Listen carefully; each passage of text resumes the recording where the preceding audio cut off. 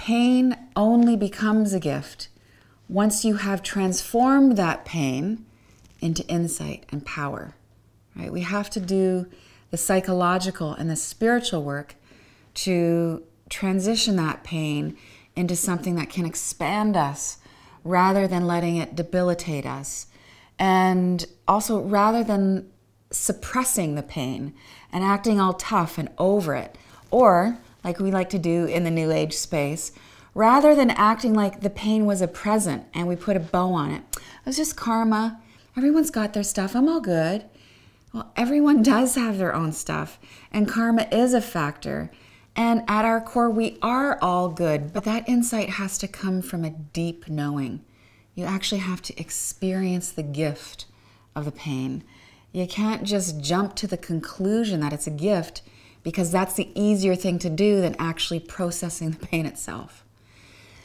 So, as spiritual uh, and evolved as it may appear, gratitude is not always the best initial response to a challenge.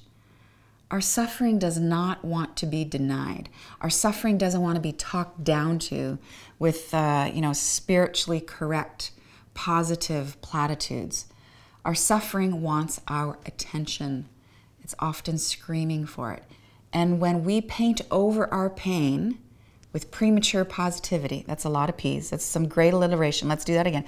We paint over our pain with premature positivity, then we short circuit our healing you know, we delay our wellness. And that kind of avoidance actually makes us more susceptible to being wounded in the future. You know, if you don't face it now, you're going to have to face it down the road.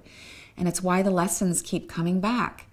So maybe we should hold off on the spiritual sweetener, you know, and experience our genuine reaction to the upsetting event. And then we go from there. We feel it to free it.